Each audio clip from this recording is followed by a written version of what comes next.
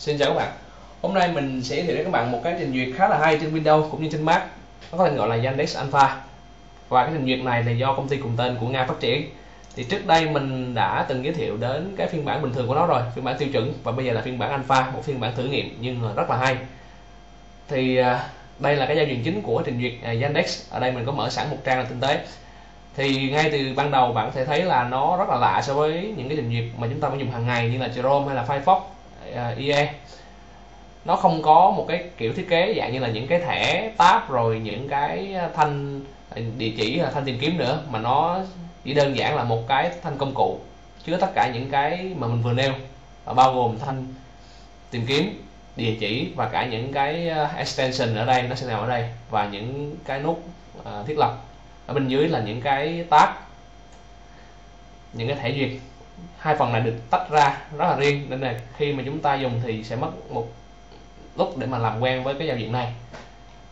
Thì bây giờ trước tiên là với cái thanh công cụ ở phía trên, khi mình cuộn trang các bạn có thể thấy là nó thể thay đổi cái màu sắc. Trên thanh này nó được làm theo dạng là bóng mờ.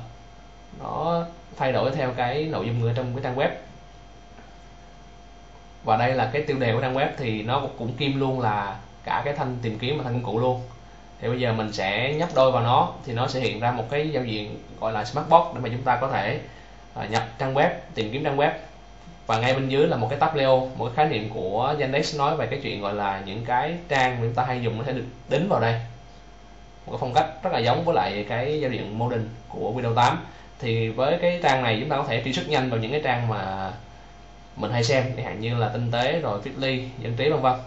Thì ngay ở đây chúng ta cũng có thể dùng những tính chính tính năng như là in hay là bút mắt lại lưu cái trang đó lại và copy cái cái ờ, cái đường dẫn hay là chia sẻ qua Facebook, Twitter và tìm kiếm trên trang.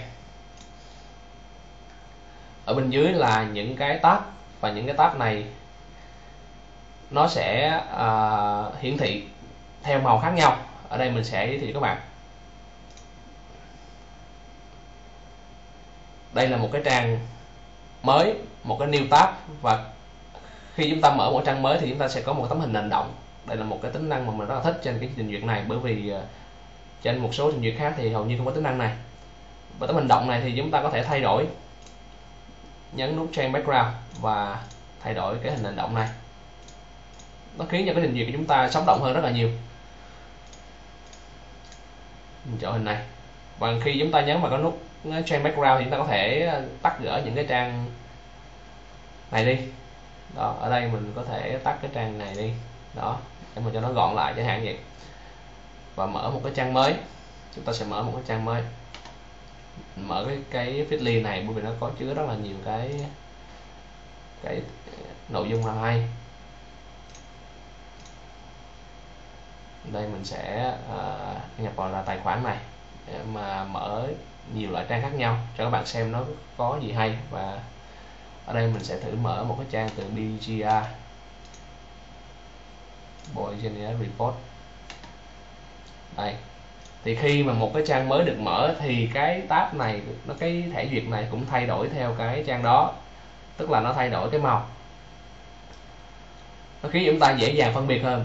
Dựa theo cái cái màu này sẽ dựa theo cái cái cái favicon của cái trang web mình sẽ thử mở một cái trang khác chẳng hạn như là ờ, uh, Artenica hy vọng nó có màu cam. Đúng rồi nó sẽ có màu cam. Và thử mở một cái trang uh, từ Light Hacker. Để xem là chắc nó sẽ có cái màu xanh lá cây. Nó là có một cái xanh lá cây. Như vậy là những cái màu sắc của những cái trang này nó sẽ tương ứng với lại cái favicon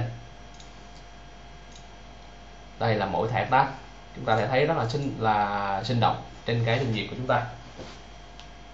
Một cái thủ thuật nhỏ nhỏ là khi chúng ta à, cuộn lên cuộn xuống như thế này cuộn xuống dưới trang thì chúng ta có thể nhấn vào cái tab này để đưa lên. Ở đây mình sẽ thử tiếp à, như ở đây.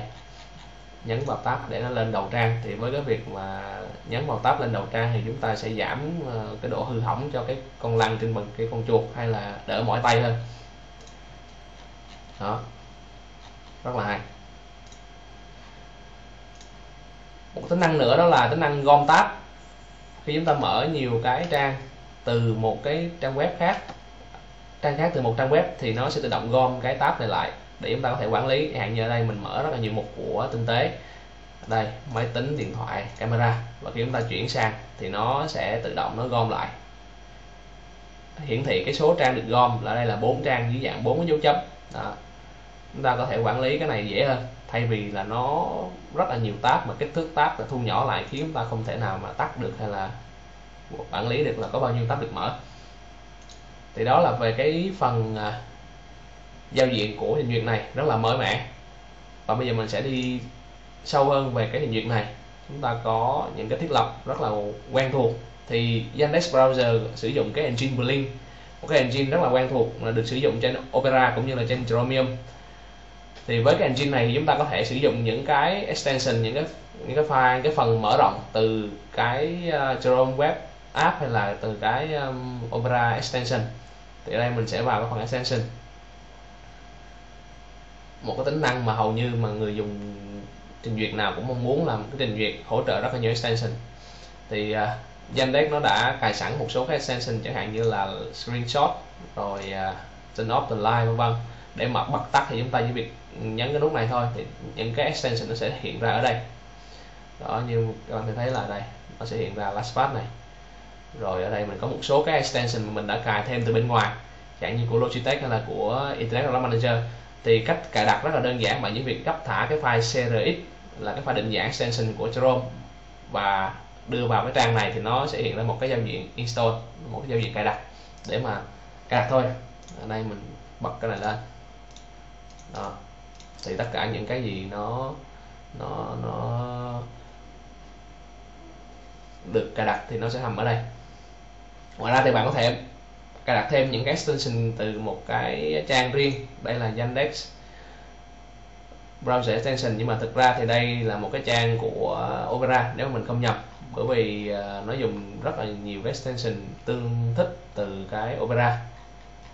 Đây, compatible with Yandex thì cách cài đặt rất là đơn giản bạn nhấn vào một cái extension nào mà thích và nhấn nút add to Yandex browser thì mọi thứ sẽ được đưa vào trang này.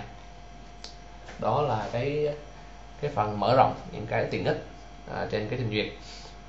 Tiếp theo là một cái phần nữa cũng khá là quan trọng đó là bookmark. Thì với Yandex Browser thì nó sẽ không có cái dạng gọi là đồng bộ với lại à, Google bởi vì nó là một trình duyệt của Nga và dùng dịch vụ của Nga. Thành ra là chúng ta sẽ cần một cái tài khoản Yandex cách đồng bộ thì vẫn tương tự nhưng mà thay vì phải qua Google thì à, chúng ta dùng Yandex. Thì à, mình sử dụng một cái tài khoản của Yandex là mình đã bookmark được những cái à, trang mà mình hay vào. Và với cái tính năng đồng bộ này thì chúng ta có thể dùng cái tính năng tap on other the device tức là nó sẽ đồng bộ qua lại những cái thiết bị khác nhau chẳng hạn như là một cái máy tính khác hay là một cái điện thoại một cái máy tính bảng. À, dùng Yandex. Yandex thì hiện nay có cả phiên bản cho Android và iOS thành ra chúng ta có thể dùng tính năng này. Và quản lý bookmark thì cũng rất là dễ dàng. Đây chúng ta có cây thư mục và quản lý như những cái trình duyệt bình thường khác. Phần download thì những cái file nào chúng ta download về thì nó sẽ hiện ở đây. Ở đây thì mình chưa có cái file nào để download về. Thành ra nó sẽ không có gì cả ở đây. Phần lịch sử duyệt web history và cái phần thiết lập. Thì phần thiết lập này à, nó rất là giống với những cái trình duyệt như là Opera hay Chrome chúng ta có những cái thiết lập rất là cơ bản như là bộ máy tìm kiếm rồi đồng bộ rồi à, notification những cái thông báo. Thì Yandex nó có liên kết với một số cái trang web nhà như Facebook. Thì nó sẽ hiện thông báo à, dưới dạng gọi là một cái à, bảng nhỏ nhỏ ở bên góc phải màn hình. Thì chúng ta có thể dùng cái đó. Và à, một số thiết lập nâng cao kích cỡ phong này kia rồi ngôn ngữ. Và mouse gesture tức là một cái à, tính năng chúng ta có thể điều khiển cái trình duyệt bằng cái thao tác cử chỉ bằng chuột hay là bằng cái trackpad. Thì mình sẽ thử cái tính năng này. Ở đây nó có cái nút lên mò chúng ta có thể tìm hiểu về tính năng này nhiều hơn.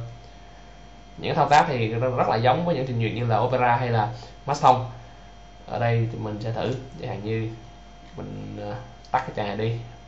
Chúng ta dùng bằng cách là nhấn chuột phải nhấn giữ chuột phải và chúng ta sẽ à, đưa cái trỏ trỏ chuột xuống và qua xuống và qua để tắt. Đúng rồi. Và xuống lên để làm tươi, tức là refresh F5 đó. Và xuống và qua để tắt. Đó. Hay là mình à, mở một cái trang nào khác. Một cái trang tiếp theo. Và chúng ta nhấn giữ chuột phải và chúng ta đưa sang trái là để trở lại cái trang trước. Và nhấn giữ chuột phải, đưa sang phải là để trở lại cái trang mà mình vừa mới mở đó io9 đó, tắt nó đi. Rất là đơn giản và cũng rất là thuận tiện khi chúng ta sử dụng. Chúng ta có thể mở nhanh cái cái cái bảng tắt Leo này bằng cách là nhấn giữ chuột phải và đưa lên. Đó, để chúng ta vào một trang mới. Thì đây chỉ mới là cái phiên bản alpha của Yandex thì à, nó sẽ có một số cái lỗi chẳng hạn như là không tương thích với cái extension. Nhưng mà mình hy vọng rằng là trong phiên bản tới thì nó sẽ có nhiều cái thứ hay ho hơn và cái khả năng tự biến cũng cao hơn. Đặc biệt là cái việc mà cho phép chúng ta tự add cái hình à, hành động này vào cái à, trang new tab. Và xin cảm ơn các bạn đã xem cái video này.